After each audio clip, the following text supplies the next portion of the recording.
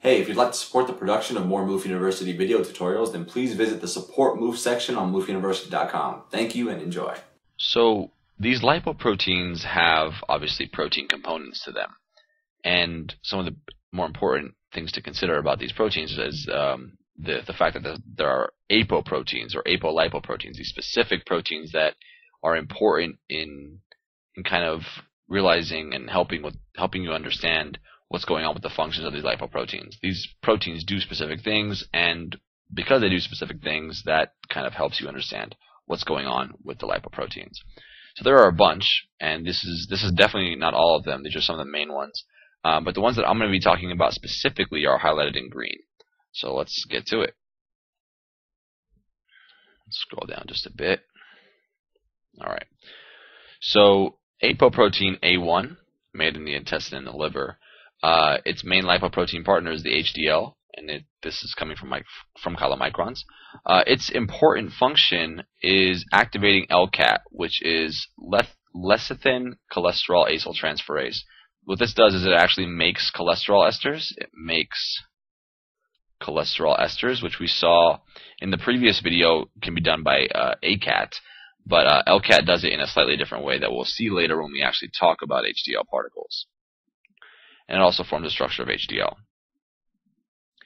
Um, ApoB48, made in the intestine, is partnered up with chylomicrons. It's actually unique to chylomicrons. This is only ApoB48 is only found in chylomicrons, so that's an important thing to note.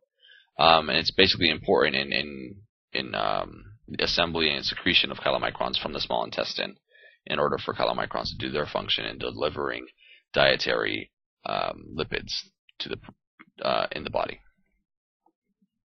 Uh, ApoB100, made in the liver, is partnered up with VLDL, IDL, and LDL. Uh, it's important, of course, in making VLDL and secreting it. Um, it is a structural portion of all three of these, and that's actually an important thing to keep in mind as well. And one thing that's really, really key is that this ApoB100 binds the LDL receptor. So I'll put a couple stars by that. Actually, going to be three of them. That's really important. Um, because well you'll see later that this is this is a really really important um, idea here. ApoC2, which is a component of chylomicrons, VLDL, IDL, HDL, basically everything except the LDL, it's really important because it activates LPL, which is I'm to put three stars next to that because that's super important. Um, LPL is lipoprotein lipase, which basically takes triglycerides and cleaves them into fatty acids plus glycerol. So that's something that we'll find to be super important. In fact, I'm going to put another star here by LCAT because that's pretty important as well.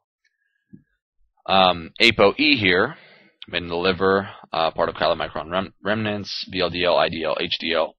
Uh, it's really important as a ligand for binding the LDL receptor as well as the ApoE receptor. Right here, we I've written LDL receptor-related protein. That's also important, but uh, I don't think I'm going to talk about that very much uh, because I'm going to go over a general overview of these different lipoproteins.